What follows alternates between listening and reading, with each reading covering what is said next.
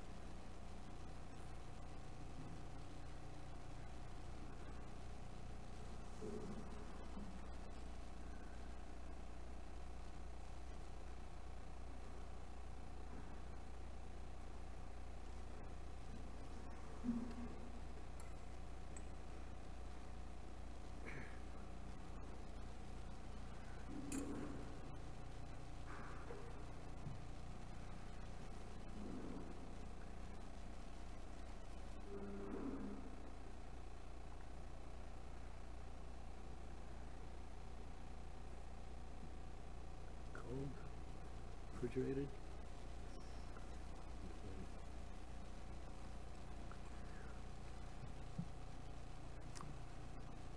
Where's my uh, player?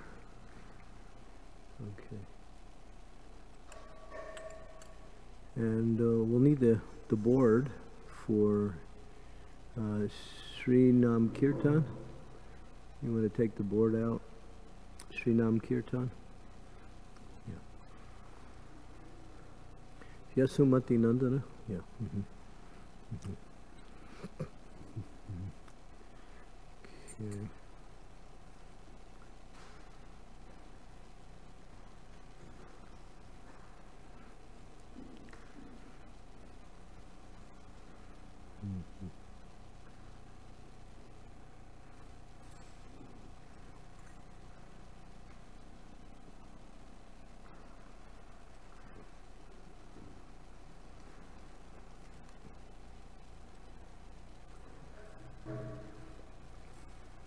So this is a favorite song of Srila Bhakti Siddhanta Saraswati. When he was departing the world, he had this song sung.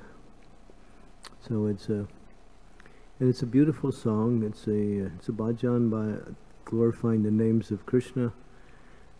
Each of these names denote a particular quality and characteristic of Lord Shri Krishna.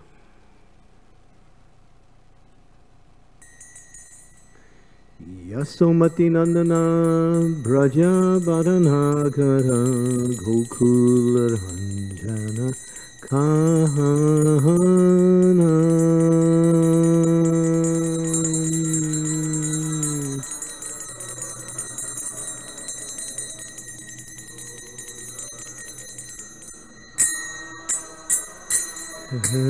Yasomati Nandana Braja Badanagara Gokul Ranjana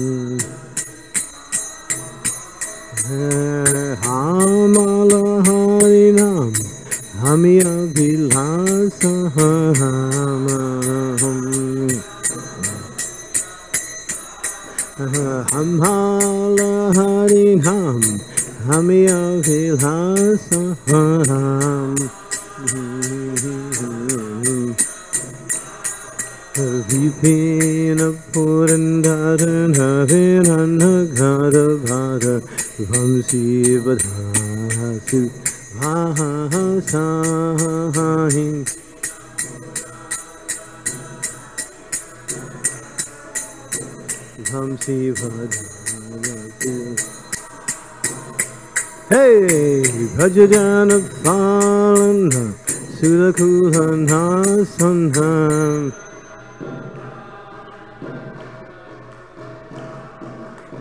Rajadanapalana Sulakulana Sanham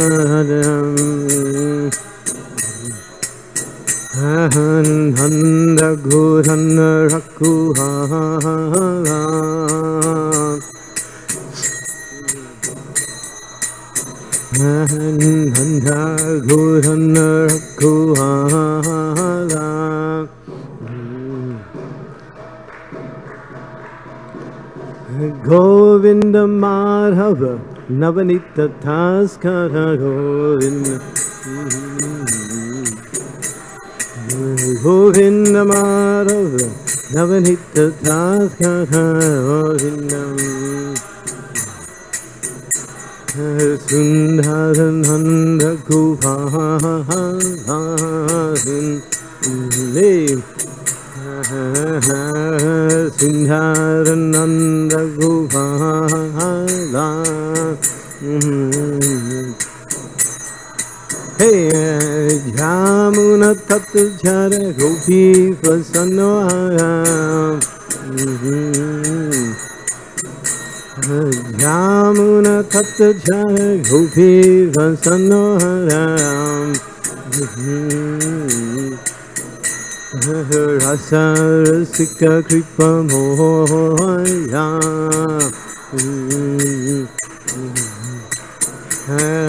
रसरसिक कृपमोहया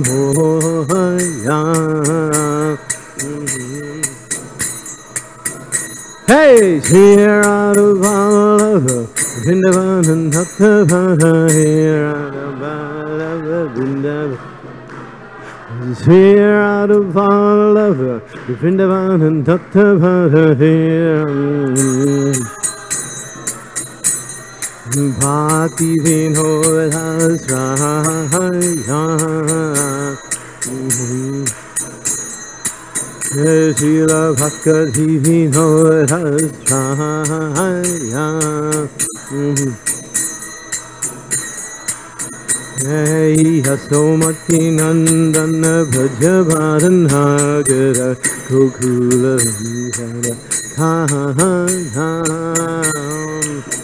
Hey,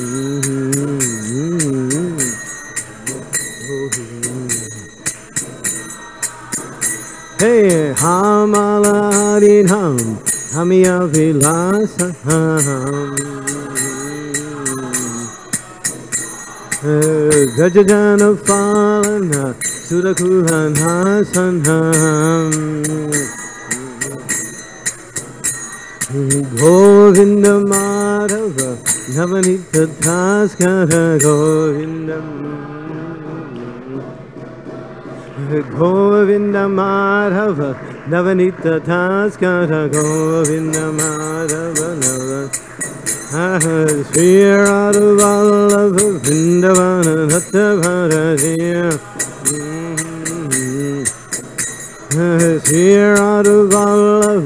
Vrindavana Natta Bharatiya Hare Krishna, Hare Krishna, Krishna Krishna, Hare Hare, Hare Ram, Hare Ram, Rama Rama, Hare Hare. Bolo Mam Hare Ram. Hare Krishna, Hare Krishna, Krishna, Hare Hare, Hare Ram, Hare Ram, Rama Rama, Hare Hare. Hari Ram, Hari Ram, Ram Ram. Hare Krishna, Hare Krishna, Krishna Krishna, Hare Hare, Hare Ram, Hare Ram, Rama Rama, Hare Hare, Hare. Whoop. Mm. Krishna Krishna, Hare Ram, Hare Ram, Ram. Govinda Madhava, Navanita Taskata. Jamuna Tata Chara Gopi Vasanohara. Hey, hey, Krishna.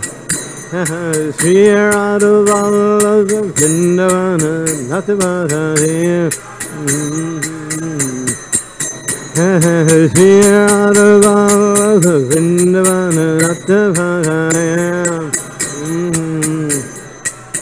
Hari Bho, Hari Bho, Hari Bho, Hari Bho. Nitai Gaura, Hari Bho, Nitai Gaura, Hari Bho, Hari Bho, Hari Bho, Hari Bho, Nitam.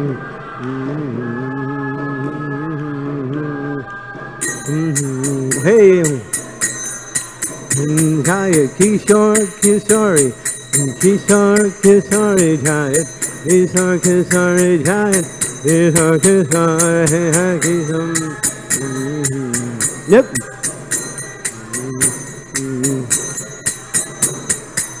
Jaya Kishore Kishore, Kishore Kishore, Kishore Kishore Jaya. Kishore Kishore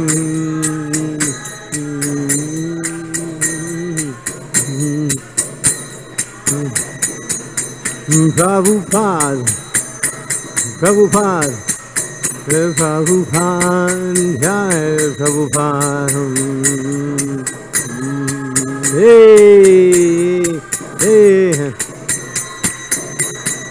Jaya Jaya Prabhupada Prabhupada Prabhupada Jaya Prabhupada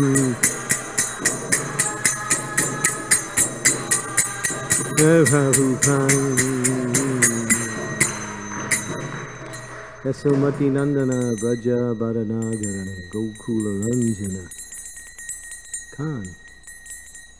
When Krishna was a little boy, his mother would call, Kanai, hey Kanai, Kana, Kana, Kana, come, take lunch, take lunch. No, mother, I'm playing, no time for lunch. Krishna always wanted to play. He never, he always forgot to eat.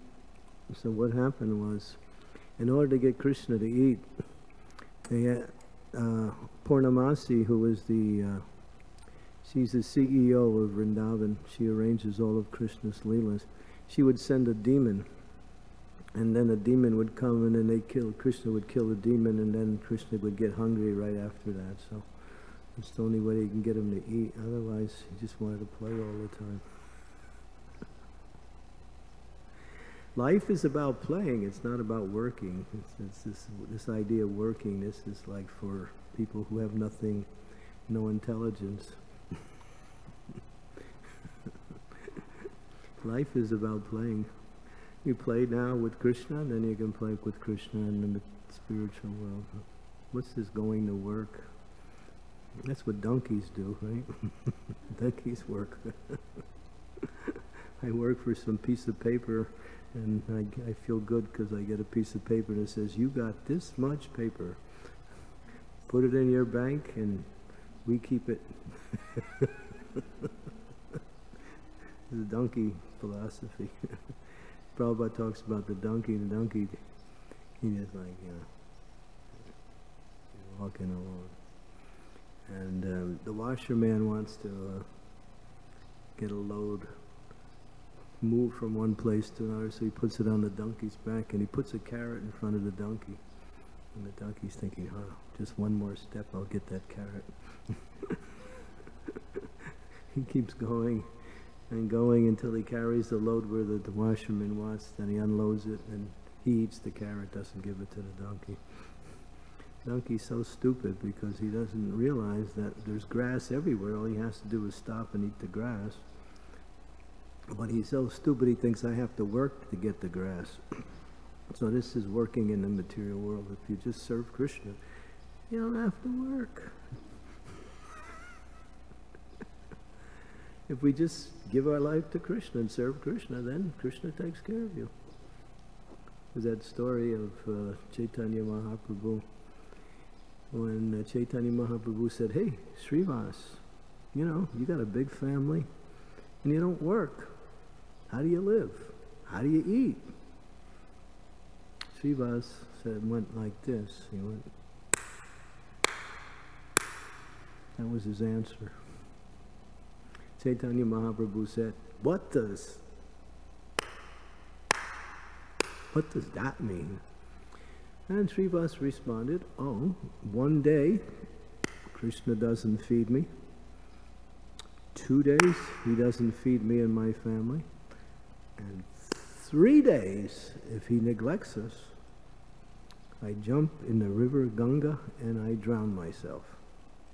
When Lord Chaitanya heard that, he, shook the universe with his roar. He roared so loudly just out of pleasure. He said, Srivas, even if Lakshmi, the goddess of fortune, has to go with a begging bowl from door to door to live, there will always be food in your home. What was he saying? You have full faith in Krishna. Therefore, Krishna will take care of you. So I tell that, and then I say to everyone, well, you sure? No, don't quit your job unless you have that faith. But if you have the faith, it works. but if you don't have that faith, get it. Because ultimately, we didn't come into the world, this promise is we come into this world just to pass stool and urine. That's all we do here. and then we die. so, there's a few other things in between, but that's just on the same level as stool and urine, so it's not much different anyway. This is this material world is just a big. It's just a it's, it's just a charade. It just it's just arranged so you can just be a fool, and then you die. That's all. And Krishna says, "Come back to me." No. Prabhupada tells the story of Indra. Indra committed some offense, so he had to leave his post in the heavenly planets, and he came to the material world and he had to take birth as a pig. And so he's now a pig and he's got a, you know, a piggy wife and some pig, piglets. So, and he's got his nice mud, first class stool. So he's living really, you know, high on the hog, as they say. So he's living like that. And, and then there's trouble in the heavenly planets. So Brahma was consulted Nobody can solve this but Indra. Okay, let's get Indra back. But he's in the material world as a pig. Well, let's see if we can get him out. And so Brahman comes to uh, Indra and says, you know, Mr. Pig Indra, you know, we need you in the heavenly planets. There's a lot of problems there. Nobody can solve it. He said, how can I go? I got my piggy wife, oink, oink, oink, oink, oink, and I got my kids, and I got my nice mud, best mud, and stool, the best stuff. I'm not going. so Brahma thinks well, we got to do something to get him back there. So they decide to mm, decrease his family. so his family's being taken away from him, and then Indra, are you ready yet? All right. so he finally surrenders. So this is material life. We get attached to so many things in this world. And anyway, the idea is to get attached to Krishna. And that's not hard because Krishna is easy to get attached to. In this world, you really have to work hard to get attached to something. You have to actually make believe it's not what it is. because it's not really as good as you think it is. You just have to create this idea. It's nice, but it really isn't. Otherwise, you can't get attached. it's like on married day. You know, you get married, and then all of a sudden, the first day you wake up and you see your wife, you say, "Who are you?" I'm your wife. Really? Oh my God! What happened? Sorry about that. It's a whole different thing. what happened to you? Oh, you know, this was part of the program. it's planned like that. Married life, okay. okay, so we can get married to Krishna. Krishna's Krishna Mata, Krishna Pita, Krishna Dhanapran. And it's described that in the material world, whatever you gain, you lose. And in the spiritual world, whatever you gain stays with you eternally. You never lose any of it. So why work hard for something you're going to lose?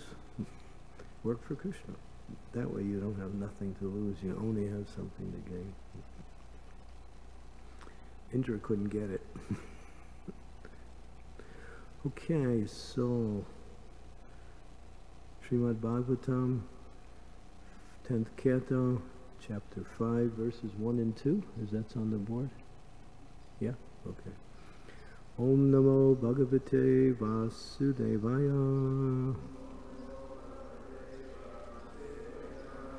Om Namo Bhagavate Vasudevaya.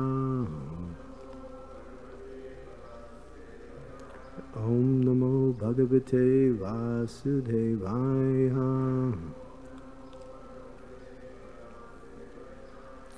This is uh, 10th canto, 5th chapter, verses 1 and 2, the meeting of Nanda Maharaj and Vasudeva. So now we're changing the whole um, theme of the Bhagavatam. Sri Sukha Uvacha Nandastvamaja Utpane Jatyalado Mahamanaha Ahuya Vipraveda Snapta Suchir Alankritaha. Sri Sukha Uvacha. Nandastvamaja Utpane Jatalado Mahamanaha. Ahuya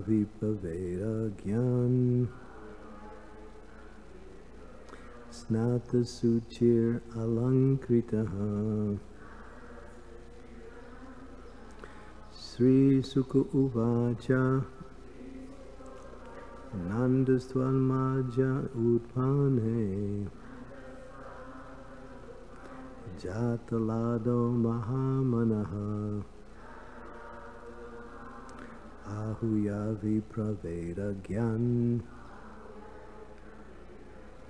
Utpane Jatalado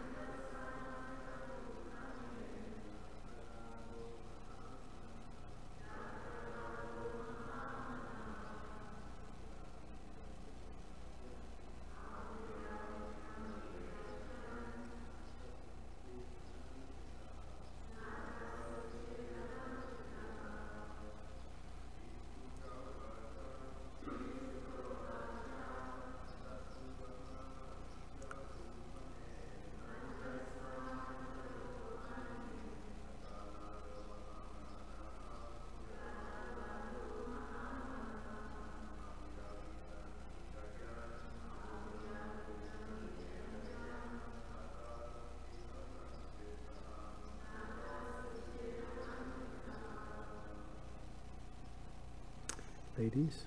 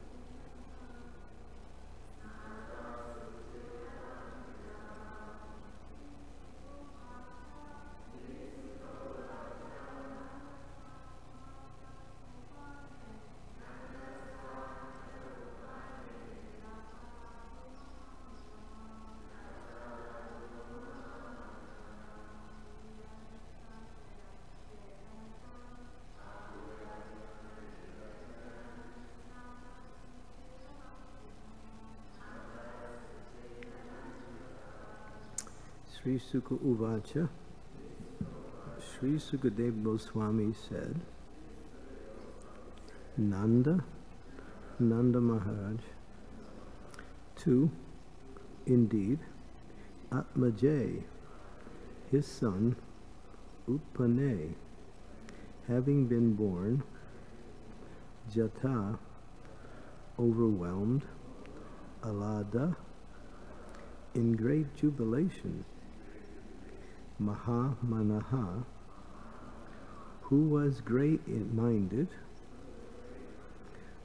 Ahuya, invited, Vipran, the Brahmanas, Veda Gyan, who were fully conversant in Vedic knowledge,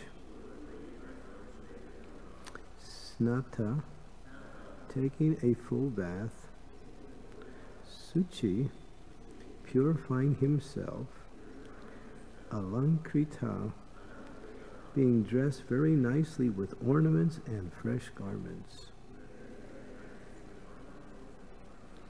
Vajayatva, after causing to be recited,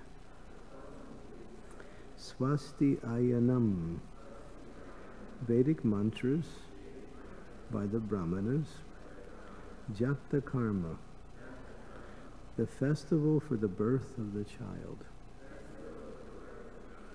Atmajasya, of his own son, Vai, indeed, Karyan Asa, caused to be performed, Vidivat, according to Vedic regulations, Pratir Deva Archanam, the worship of the forefathers and the demigods.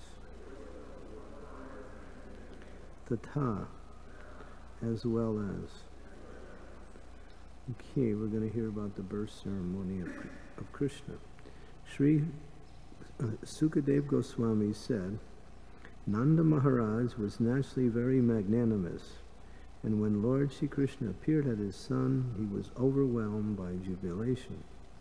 Therefore, after bathing and purifying himself and dressing himself properly, he invited brahmanas who knew how to recite Vedic mantras. After having these qualified brahmanas recite auspicious Vedic hymns, he arranged to have the Vedic birth ceremony celebrated for his newborn child, according to the rules and regulations, for he also arranged for worship of the demigods and forefathers. Srila Prabhupada's purport. There's a lot of commentary on this purport, so please listen up. Srila Vishwanath Chakravarti Thakur has discussed the significance of the word Nandas tu. The word tu, he says, is not used to fulfill the sentence because without tu the sentence is complete. Therefore, the word tu is used for a different purpose. Although Krishna appeared as the son of Devaki, Devaki and Vasudeva did not enjoy the Jatakarma, the festival of the birth ceremony. Instead, this ceremony was enjoyed by Nanda Maharaj, as stated here. Nandastu Atmaja Upane Jataladu Mahamanaha. When Nanda Maharaj met Vasudeva, Vasudeva could not disclose, Your son Krishna is actually my son. You are his father in a different way, spiritually. Because of fear of Kamsa, Vasudeva could not observe the festival of Krishna's birth. Nanda Maharaj, however, took full advantage of this opportunity.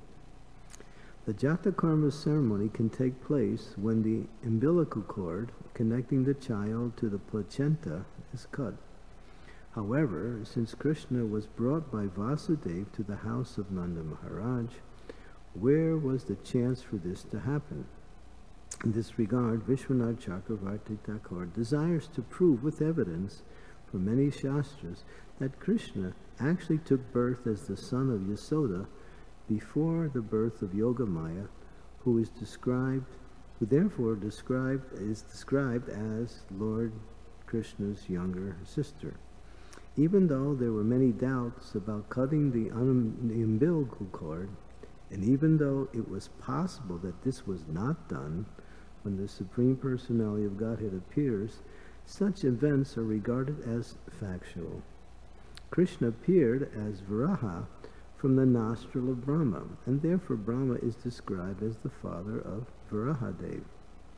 Also significant are the words Karyam Asad Viddivat, being overwhelmed with jubilation over the birth of his son, Nanda Maharaj did not see whether the cord was cut or not.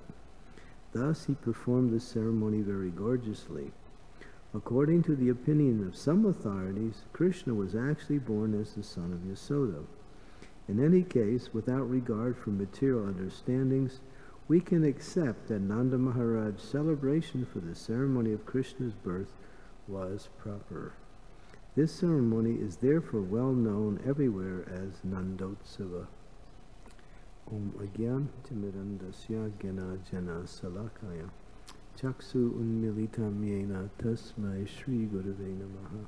Shri Chaitanya Manobhistam Staptitam Yena Bhutale. Swayam Rupa Kadammayam Dadati Swam Padanti Kam. Nama Om Vishnu Padaya Krishna Prastaya Bhutale Srimakti Bhakti Vedanta Swami Iti Namene Namaste Saraswati Deve Gauravani Pracharine Nirvishesha Sunyavari Pastyathyade Satarine Sri Krishna Chaitanya Prabhu Nityananda Sri Advaita Gadadhar Sivasadi Gauravantavin Hare Krishna Hare Krishna Krishna Krishna Hare Hare Hare Rama Hare Rama Rama Rama Hare Hare hmm. let's see. Janma karma chime divyam evam yo veti tatvataha tattva deha purna janma naitima eti sorjuna. When Prabhupada was asked by Brahmananda, Brahmananda, one of the first disciples, Prabhupada, what is the most important verse in the Bhagavad Gita? And Prabhupada recited this verse, Janma Karma Chame Divyam because it really is the goal of the Bhagavad Gita. And what is that goal? It says that one who knows, Krishna speaking, Krishna says, one who knows the, under, one who understands the mystery of my birth and appearance in this world and my activities, does not, upon leaving this body, again take birth in the material world, but attains to my abode. O son of Kunti, speaking to Arjuna. So to know, mm, that means to understand fully, that Krishna's birth is divyam, or transcendental. Although there are many elements of Krishna's appearance that look quite ordinary, here we see something that kind of gives the Divyam principle some emphasis, and that is the cutting of the umbilical cord, which is part of the, the ceremony which separates the mother from the child upon the birth. This is done all everywhere. But there was no ceremony done for Krishna. Vasudeva could not do that ceremony because he was in jail and not wanting to call attention to Kamsa about the birth of his son, who was Krishna. He, he pushed back or he avoided all the different ceremonies for the, the appearance of the child. But Nanda Maharaj wasn't. Of course, we know the story. Uh, Vasudeva, um, by the arrangement of Yogamaya, took Krishna out of the jail cell and brought him to Vrindavan. Now, Mother Yasoda had already had a child, but because of her being unconscious or asleep at childbirth, she didn't really know what the baby was. And so she was thinking it was a girl, but it was actually both a boy and a girl. She had twins, but she only thought she had one. So Krishna appeared simultaneously. This is mentioned later on in this uh, 10th canto. To, in two places.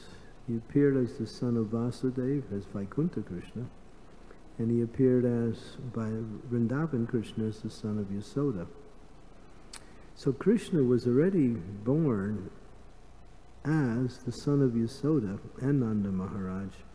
But when Vasudeva came to take the child, we read how he brought the child and exchanged it for the girl and took the girl back to the jail cell, which was Yogamaya. We don't we under we, we don't hear how there was another baby there, but no one could see it. Krishna appeared, but he was unmanifest. And when Vasudeva put Vaikuntha Krishna down near Yasoda, she was still sleeping, the two Krishnas merged into one.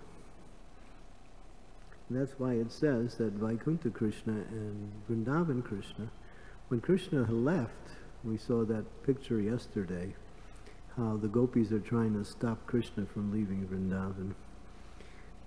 But what who left Vrindavan was Vaikuntha Krishna to kill demons, and Vrindavan Krishna never leaves Vrindavan. He stays there.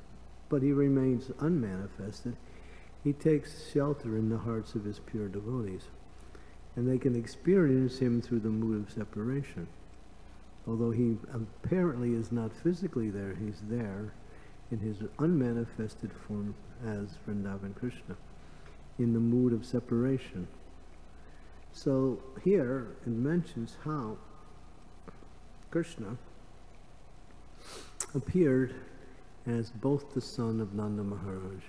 Vasudeva is thinking, I'm not so fortunate. You have the opportunity to, he's my son. Vasudeva is thinking, he's my son. He was born as the son of my wife, Devaki, in the jail.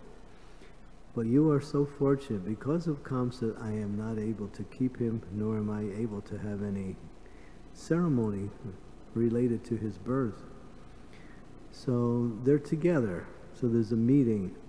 And you'll see as the chapter goes on how they discuss, you know, how Nanda Maharaj was, was you know, Vasudeva was telling Nanda Maharaj, now Nanda Maharaj, you know, it's nice you've come to see me and we're friends. They were cousin brothers. But you should get back to Vrindavan as fast as you can because there's always going to be trouble with this new child of yours. and Kamsa was already sending some of his, you know, messengers there to try to kill Krishna, which is not possible. And so it's a nice exchange. This is one of the most sweetest chapters in this section here, uh, the loving exchange between Nanda Maharaj and Vasudeva. Vasudeva's heart is somewhat feeling unhappy, but at the same time happy. He's happy for Nanda but he's unhappy for himself because he didn't get the chance to raise Krishna. Later on, when they all meet at Kurukshetra, you know, Krishna shows his affection for Vasudeva and Devaki. And it's really a pitiable situation and how they were overwhelmed with uh, feelings of separation. And after seeing Krishna after all these years, Krishna did his whatever he could to somehow or other not apologize, but say, you know, my dear father, you took care of me so nicely. I'm your son, but you never got the chance to be my father. so it's quite sweet. It's actually really sweet. And this is Krishna. Krishna, he attaches himself to someone and then he leaves. this is bhakti. Bhakti is like that. You can't catch Krishna, it's not possible. The whole process of devotional service is running after Krishna. that is the mood of Chaitanya Mahaprabhu. It's Vipralamba. Sometimes you get him, but he stays for a few seconds and then he leaves again. That's Krishna. Why does he do that? Just to increase your love for him, like that. So the whole process of devotional service is hankering to somehow meet Krishna through the process of executing devotion to Krishna, through service, through chanting, through offering prayers, wanting to wanting to come in contact with Krishna. But the, mo the mood in bhakti, and the mood taught by Chaitanya Mahaprabhu, is always the mood of longing for Krishna, praying for Krishna, striving to get Krishna. I mean, if we're not strong in that faith, we might give up. Oh, I can't get Krishna. But the whole, our whole life is chasing Krishna. And he comes once in a while and says, here I am. And you feel so happy, and then he leaves again. and then you feel unhappy again. so this is the whole process of bhakti, like that. So never get discouraged. It's all about running after Krishna your whole life. Trying to get that because he likes he likes to inc increase the bhakti of his devotees by having that devotee hanker for him more and more, pray for him and feel that mood. And but but love in separation is higher than love in meeting because the gopis when Krishna's there and they're with Krishna, they can't feel the happiness of, of being with Krishna. Why? Because they're thinking he's going to leave soon. That's their feeling. Their hearts are happy because he's there, but there's another feeling that comes along with that happiness is that he's going to leave soon. So that overwhelms their happiness and they feel unhappy. So, but for Vipralamba Bhav, the mood is that the longing, just like one of the gopis, when Krishna played his flute, and called all the gopis to come down to Vamsivad to dance in the rasa dance. They were with their children, they were with their husbands, they were doing various chores. All of them left except one or two. I think one once mentioned she couldn't go because her husband wouldn't let her go. But she went to Krishna with her heart and with her heart, she was feeling the presence of Krishna, and that separation was so strong, she left her body, hankering for the presence of Krishna like that. So, and Krishna reciprocated that. He's reciprocated that mood of separation. So it is explained by Chaitanya Mahaprabhu and the Acharyas that the mood of separation is actually more intense in its loving relationship with Krishna than the mood of meeting because it's a longing. Just like even in this world you might see that. If there's a husband and a wife that are very close to each other, they become separated due to a certain situation and they're always thinking when will they meet again. So that love that's there is not as much appreciated as much as it is when you're not with the person you love. Just like I go in and out of airports all the time. And a lot of times I see people, they're meeting their friends and their loved ones, right? And the initial contact when they meet is so enthusiastic. They, they embrace and they're laughing and they're feeling so happy. But after a few minutes, it's over. then they complain, oh no, well, I don't know what to do. but anyway, the point is that this separation causes the, the heart to, to long for that meeting. And when that meeting comes, it becomes the, the, the ecstasy of happiness. But then when that meeting stays a little while, the mood changes, and then one thinks, uh-oh, separation's going to come again, and then what we going to do? The only problem in the material world when we have these things is that if separation stays too long or beyond a person's patience or expectations, people tend to lose attachment for that personality. And then what happens? They try to find something else, some other person to fulfill that need like that. But not in the spiritual world. The gopis would rather die than be without, than be with, to do something else than to think of Krishna. They can't have anyone but Krishna. It has to be Krishna, even if Krishna doesn't reciprocate their love. We have that verse in, uh, what is that last verse in Shikshasha? Aslisyapa pinaratam punastumam adarshanam marmahatam karotu va yata tata va viradatu lampato mat pranam astu sa eva The acharyas say that this verse is love in meeting. And the verse before, what is that verse? Yugayitam nimeshena chakshusha pravishayitam shunyayitam jagat sarvam govinda virahenam. This is the this is the mood of love in separation, longing that one moment without you seems like 12 years. It's just like, you know how time works? Time works like that. When you're happy and you're doing things, what is the, what is the pace of time? What is the pace of time? P pace, P-A-C-E. Fast.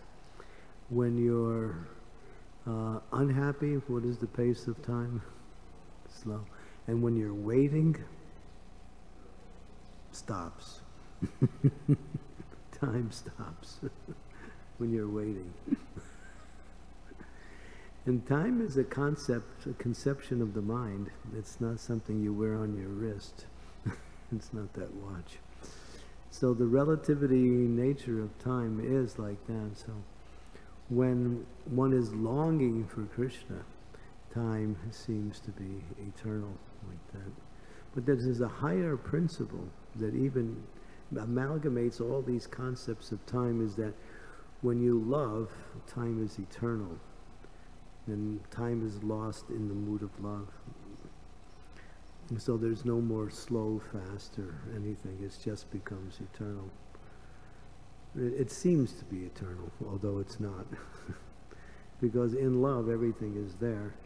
So loving Krishna is all about what Bhagavatam is, trying to get us attached to hearing about Krishna more and more, and getting attached to want to love Krishna and serve Krishna.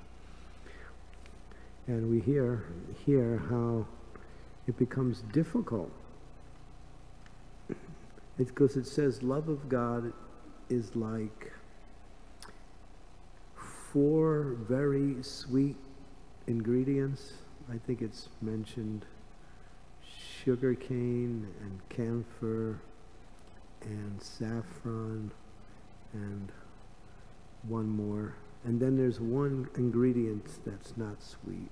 It's called black pepper. That's the fifth ingredient. So love of God also burns a little bit. It's got a chili taste to it. so it's kind of simultaneously sweet and also very, very hot. so no one should ever get discouraged in our devotional service. Krishna is always inviting us to become more and more attached to him in different ways. So he wants us to get attached to him more than we want to get attached to him. So he does so many things in this life. What are the things he does in our life? He takes away our material attachments so we can't enjoy them anymore. And sometimes when we're so attached to material things, he gives us some suffering just to help us become more and more detached from those things that are causing us suffering like that. So that's Krishna. Krishna's, people say, well, Krishna's, you know, he doesn't really care. He doesn't really do anything. You have to do everything. He's doing, actually, he's doing everything. We just have to reciprocate with him. And it's easy, as the Bhagavad Gita says, Patram pushpam phalam toyam yome bhakti panasyati. when we offer whatever we have in service to Krishna, as an offering to Krishna with devotion, Prabhupada said it's easy. My Lord, I don't have anything, but I have this little object that I want to offer you, please accept it. That's love. Not like I'm so rich, I got so much money, and Krishna, you can have a hundred dollars. I keep the other million, but you can have some of it. so yeah, it's the mood is that Krishna doesn't really need anything that we have, but he appears to be needy. He puts himself in a needy position. Why? Just so we can offer something to Krishna like that. So that's why it seems like, you know, Prabhupada would say, Krishna, he's always saying, you know, surrender more, give more, do more, do this, you know, like he's asking more and more and more. Prabhupada said he's greedy. he's a greedy God. He just wants more and more and more. but it's not because of he wants it, because he knows this is what it takes for us to become more and more attached to him to take away whatever we have that is keeping us from surrendering to Him. And there's so many things. Take a little inventory. What, what in my life that is keeping me attached in this world that I can't surrender to Krishna more and more? Whatever it is, look at it and see if you actually need it. Or if you can somehow or other plan to get rid of it. Like that. So, but there is a better formula is that just hear about Krishna more and more. Because when we hear about Krishna more and more, we get attached to Krishna. Because Krishna is all attractive like that. So we're hearing about Krishna and we're also hearing about Srila Prabhupada. Is there any difference? No. Actually, there's no difference to hear about Krishna to hear about Prabhupada because Prabhupada's whole life is based on giving Krishna to everyone. So in one sense, Krishna and Prabhupada are non-different in the principle of devotion to the Supreme Lord, and therefore to hear about Prabhupada means to hear about Krishna. And actually, it's even higher to hear about Prabhupada because Krishna likes to, when you glorify and hear about Prabhupada more than when you glorify and hear about him. So there's an extra element of mercy that comes by attaching ourselves to the great souls such as Srila Prabhupada like that. That's why Krishna says, one who says he's my devotee is not my devotee, but one who's a devotee of my devotee is actually my devotee. To, to become a devotee of Prabhupada means to follow the instructions of Prabhupada. It's not just some sentiment where we just say, oh, Prabhupada, you're so wonderful, and then we leave it at that. It's all about learning his instructions, learning our relationship with those instructions, actually executing the instructions and becoming an intimate associate of Srila Prabhupada by helping him in his mission to spread Krishna consciousness. This is the actual connection with the spiritual master incomplete. As Prabhupada told us, uh, if you want to love me, show your love for me, you cooperate. And when he said it twice, and the second time he said it is by keeping this mission together. He also said one other thing. He said, even if you can't expand it, don't destroy what I created. In other words, somehow or other preserve what I have. But he wanted more than that. He was just making some concessional statement. He wanted us to expand this movement more and more. And the connection with the spiritual master comes with following what he came for. He came to spread Krishna consciousness, so when we assist him doing that, we actually live with Prabhupada completely and fully. As he said to us, do what I'm doing. But it's not that we can do what he's doing, but we can do the activities he's doing and not on the same scale. so to glorify Krishna, the best way is to glorify his pure devotee. But we want to do both because Krishna's sweet and he's also attractive. And if you want to please Prabhupada, love Krishna and become attached to Krishna. And if you want to please Krishna, love Prabhupada. that is love. Just like they say, when you chant the Hare Krishna Maha Mantra, and if you think of Krishna when you say Hare, that's high. That's higher than thinking of Radharani. And when you think of Radharani, when you say Krishna, that's higher than thinking of Krishna. Why? Because the love between them is so strong that when you glorify the other person, you please the other person more than when you glorify that person. So when you say Hare Krishna, you're actually saying Krishna Radharani. you're thinking like that. If you could do that, I mean, it's not so easy. But in other words, love works in such a way that the, the beloved becomes the object of my happiness. So when you glorify those that I love, you're actually doing the best service for me. like that. That's the principle. So that works also with the spiritual master, especially with Srila Prabhupada, who was very dear to Krishna.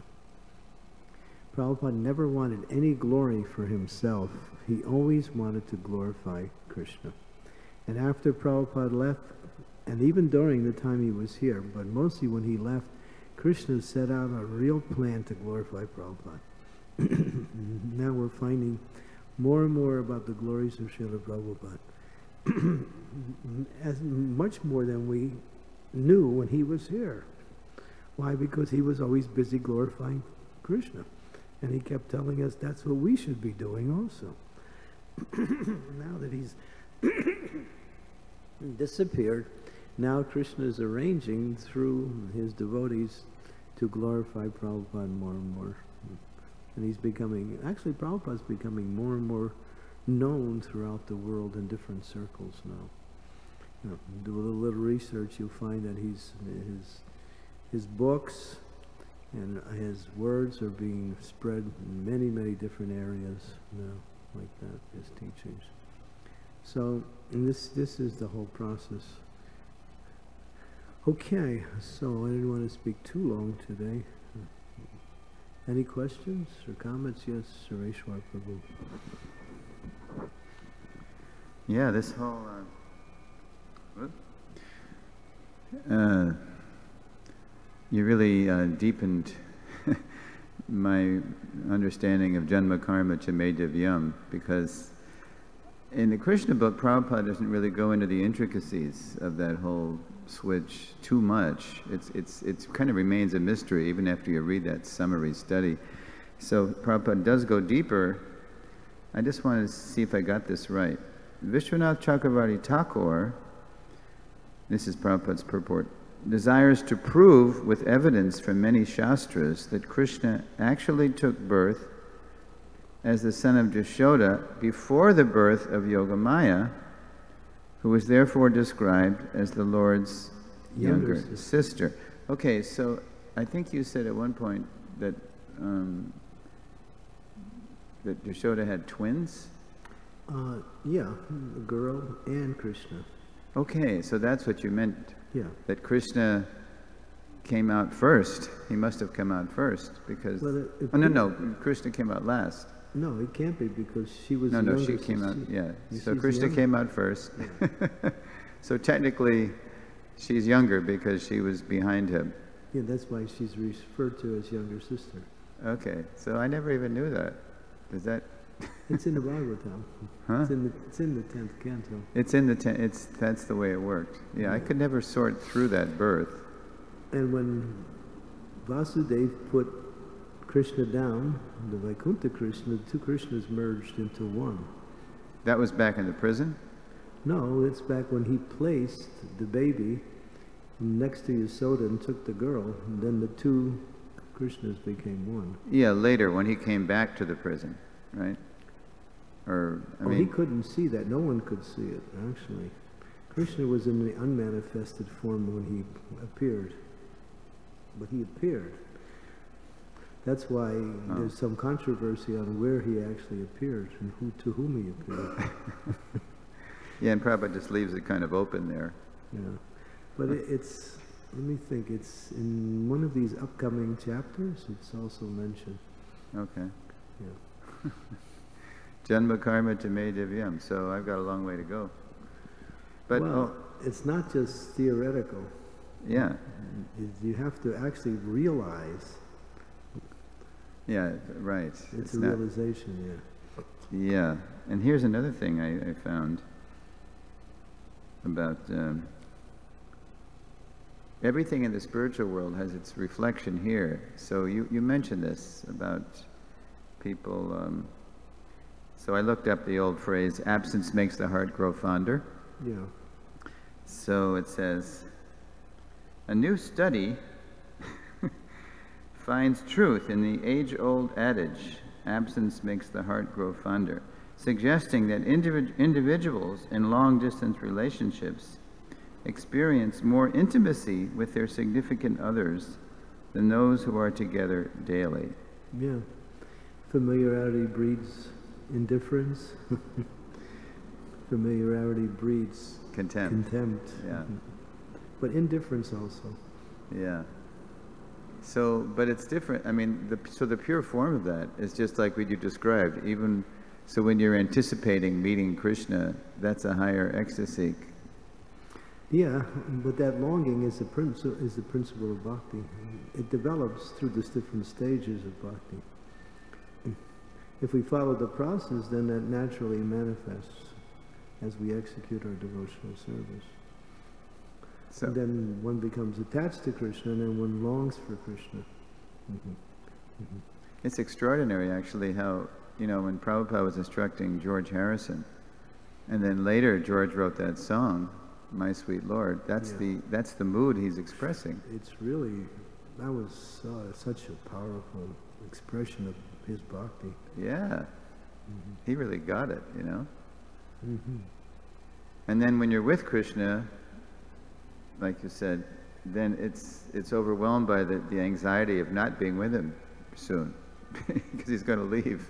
Yeah, that's well the gopis are feeling like that. But that's an element of love also, Yeah. and like that. Um, again, another example on the material platform is just like if you know someone and you're a friend and maybe even a loved one, and then they die. Hmm. Sometimes you lament that you didn't really appreciate that person when they were here. It comes after the fact. Or you didn't take advantage of their association enough. Yeah. We also experience that in, when one of our devotees leave. Yeah. We feel like that. So that's, that's after the fact. Hmm.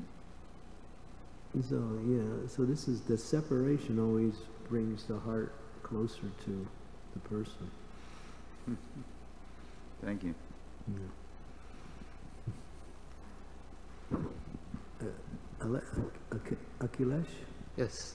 Okay. Um, so after Krishna left Vrindavan, so did those two Krishnas defuse? Because um, during Mahabharata, Krishna meets uh, Radharani and the other gopis again, and they say that you're not the same person anymore.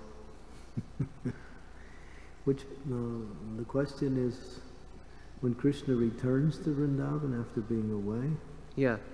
and then, well, Krishna came back three times, different times. Um, well, yeah, but their, their love doesn't change. They're saying, you know, you now you're a little less villagey, you're more worldly. You've been hanging around with those girls from Mathura. City girls. he lost his innocence.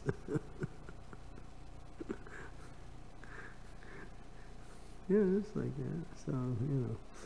They, uh, part of the loving relationship between Krishna and the gopis is they criticize each other. If you really want to keep marriage together, you need to do that.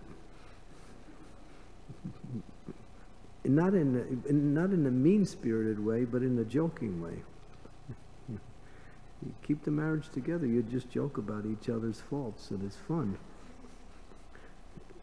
Because if you do it seriously, it might cause you to break up. But if you do it in a joking way, then you can somehow or other reflect on the relationship that it's actually not so bad. yeah, that's, that's it's in the Bhagavatam too. It says that the happiness in married life is to exchange joking words between husband and wife. And that's mentioned in the story with Rukmini and Krishna. So if you're actually looking for material ha happiness in married life, you got to joke with your wife. But not with another lady, just with you. Yeah, it's it actually. It, I'm not just joking. I'm saying this is an actual reality. It keeps things moving in a nice direction. yeah. This was confirmed to me yesterday after I taught the afternoon session, and then Mataji called me into her office, and Prabhuji was there. And after we, after she expressed what she wanted to express, then I started asking her about their marriage, and she said, "This is what we do. We joke. We we joke, but but we it's kind of like a mock fight." Yeah, that's the that's the best part of marriage. And she credited that with being together for, I think, 29 years or something. 29 years, yeah. Yeah. Yeah, it's kind of a mock fight, but it's it's got some humor in there. Yeah, it keeps it interesting. Yeah, keeps things moving. yeah, try it.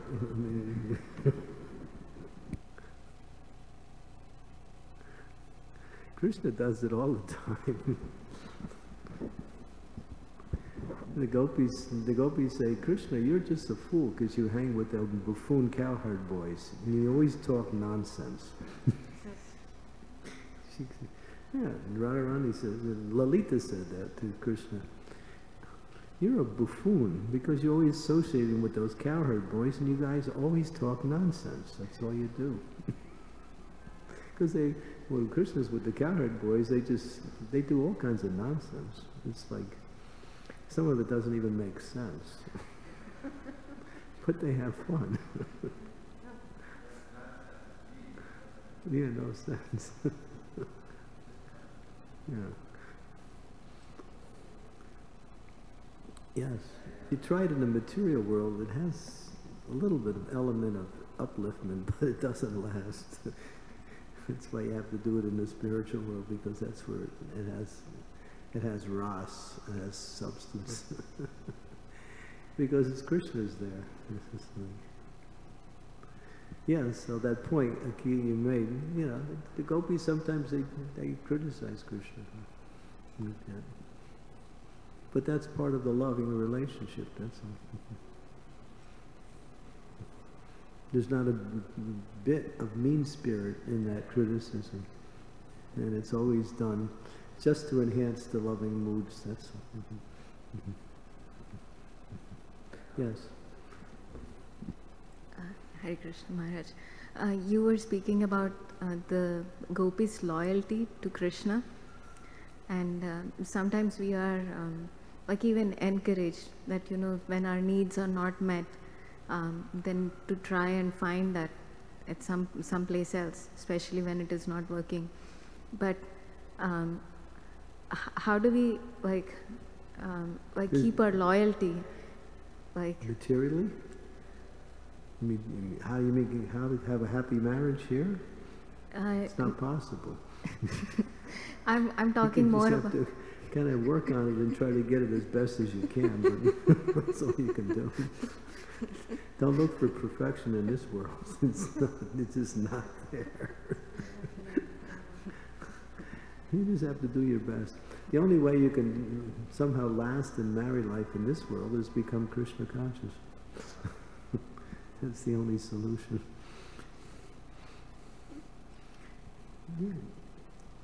Maharaj, even towards, uh, like I was thinking more towards uh, Prabhupada than towards ISKCON, because I remember one of the instances that Suresh Prabhu, Sureshwara Prabhu was sharing that one Mataji did a lot of research um, about Prabhupada, but she didn't feel that she was, um, her work was um, accepted and appreciated, and she uh, turned away.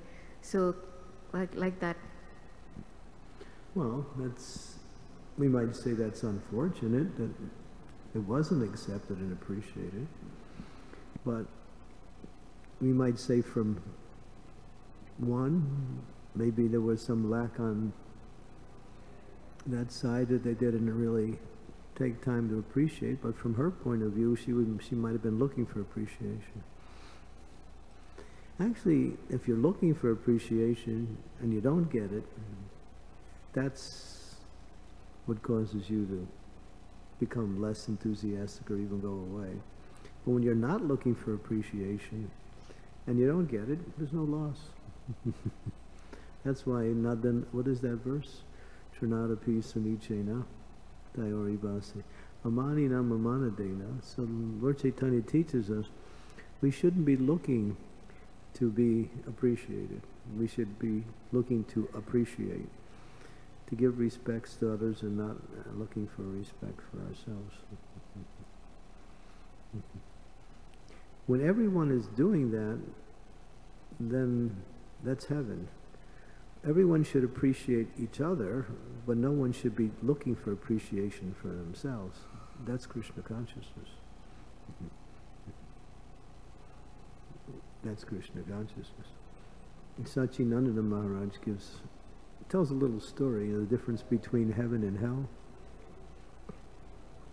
It's a nice story.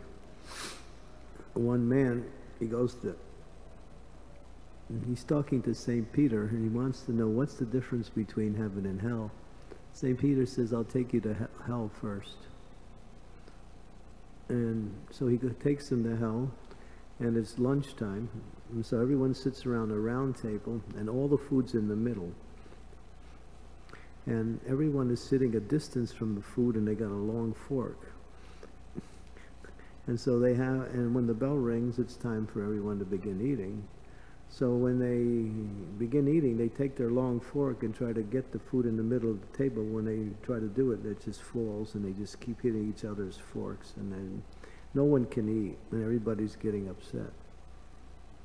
So then he says, all right, now teach me what is heaven. So he goes to heaven, same situation. There's food in the middle of the table. Everybody's got long forks and everyone's sitting around the table. And then when the bell rings, everyone takes the fork and feeds the person across the way. And that way everybody eats. So that's the difference between spiritual consciousness and material consciousness.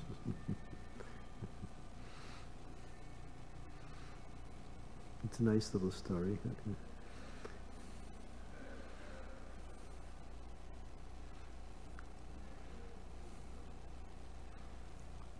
Hare Krishna Dasi. The reason Hare Krishna Dasi took some distance from ISKCON is not so much that she wanted appreciation, she wanted action. Yeah. And she could see that she could do more good, perhaps in another organization in terms of getting ox power and cow protection going than in ISKCON at that time. She did it through her son. She did it through her son with this Working Villages International. It's it's actually acclaimed. Yeah, it's in the Congo, right? Yeah, it's uh, yeah, it's it's in Tanganyika. I met him. You went there. I met him. Okay. He, was telling me about the project. Yeah, that's great. So that's that was really the essence of it. That she just felt, you know, that this play, this these people, they're just not serious. They're not ready. And she's serious. Yeah, So and- she, so she passed that spirit on to her son who did Yeah. something. Yeah. know. Yeah, then, yeah, we don't fault her for, sometimes you feel like that, and you want to get things moving, so you have to do it yourself. Yep.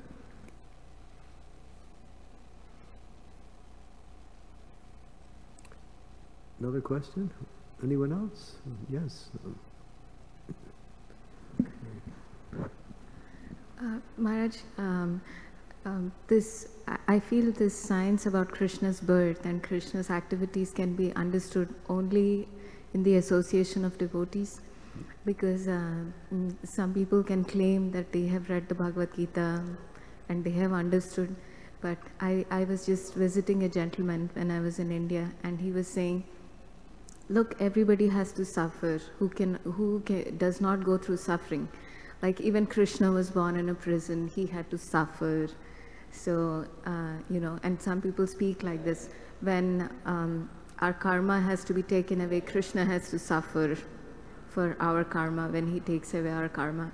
So like there are so many uh, misconceptions um, About Krishna. about Krishna, his activities, and how he acts um, outside the circle of devotees. Well, suffering is part of the material energy. Suffering is not, there's no suffering on the spiritual platform, even for devotees. So, how can you say Krishna suffers? That means he's under the influence of the material energy, which he's not. He says, I'm divya. He's transcendental. He's not part of this material world. Even when he comes to the material world, he is not touched by the material energy. What is there's verses that confirm that. Which one? Krishna says. Uh, that he, what is it? Uh, Avajanti mamuha manushim tananasvatam param bhavam agyana mama bhuta maheshwara. Fools deride me when I take birth in this material world. They do not know my transcendental nature, my supreme nature, and being transcendental to everything. And then the other one, Naham Prakasha Sarvasya Yoga Maya Samadvitaha Muro Yoga Vijananti. What's the last line? Loka Avajanaya. I'm covered by my curtain of Maya, and therefore one cannot understand my activities. So, therefore, they're looking through the material energy and, and putting Krishna within that same context. He's not. God is not part of this material energy. He controls it, but he's not affected by it. Mm-hmm. If he was affected by it, what's the question of being God? That that means Maya would be superior to Krishna, mm-hmm. which is not. he says, "Mama Maya." It's my Maya. Mm-hmm. so they just, they're ignorant. They don't know the nature of God. They read the Bhagavad Gita and they put Krishna in a position of being a little bit better than them, that's all. but he's not. He's, he's transcendental to everything. Otherwise, how can he be God if he's part of this material energy? Now, they- therefore, Jiva Goswami says, to understand Krishna means achintya, that it's inconceivable. How do you understand Krishna? Only by devotional service. What is that verse? Um, Bhakti mam avijananti yavanyas tatvi tatvataha tato yo tato visite tararantaram.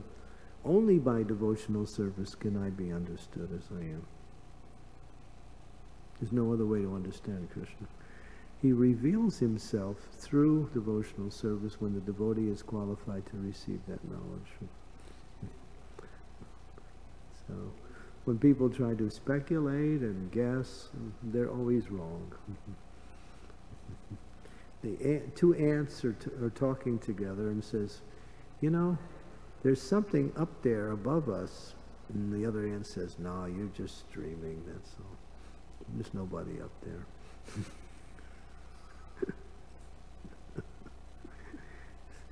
There's a whole whole world above the ant world, right? And there's a whole world above our world called the demigod world. Prabhupada said the demigods are so powerful that if they want, they can crush you just like you crush an insect.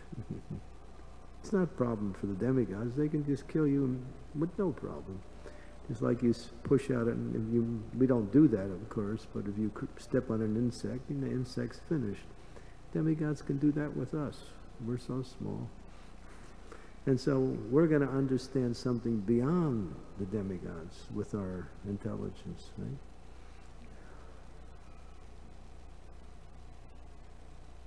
That's why we're called Jiva.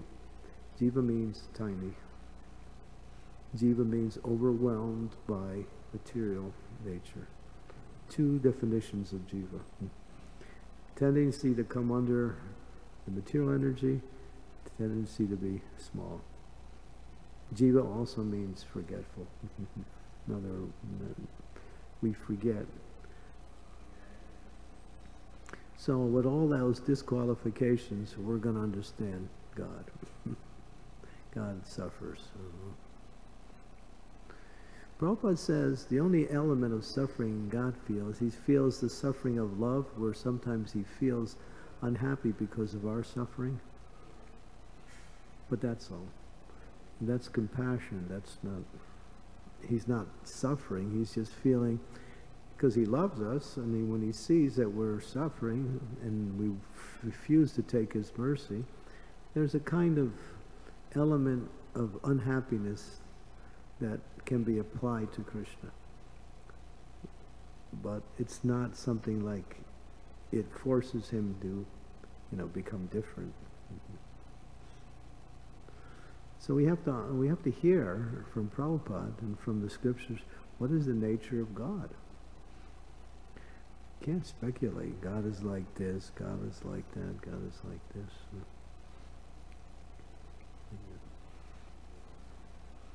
So you have to tell them, you know, your ant-like intelligence is not able to reach to the transcendent. Yeah, what's Bhakti Siddhanta's? The materialistic demeanor cannot reach to the transcendental autocrat who is always inviting the conditioned souls. It goes on like that. We're small and but we can serve Krishna and develop our relationship with Krishna, and Krishna reveals himself through that service, through that attitude. That's the process of know, knowing Krishna through bhakti. okay, so we'll stop here. Thank you very much. Srila Prabhupada. Oh yeah. Yes, and most important is tonight, today at 11 o'clock is lesson number nine, Founder Acharya. Personally, this is one of the most interesting lessons I found out of all of them. It gives us a clear understanding of Prabhupada by explaining what we might think Prabhupada is, but he's not. so it's quite interesting, and it's also if you like to laugh, it's a little humorous. So, so you'll find this interest. This is a very interesting presentation. 11 a.m. here. Okay. Hare Krishna. Srila Prabhupada Ki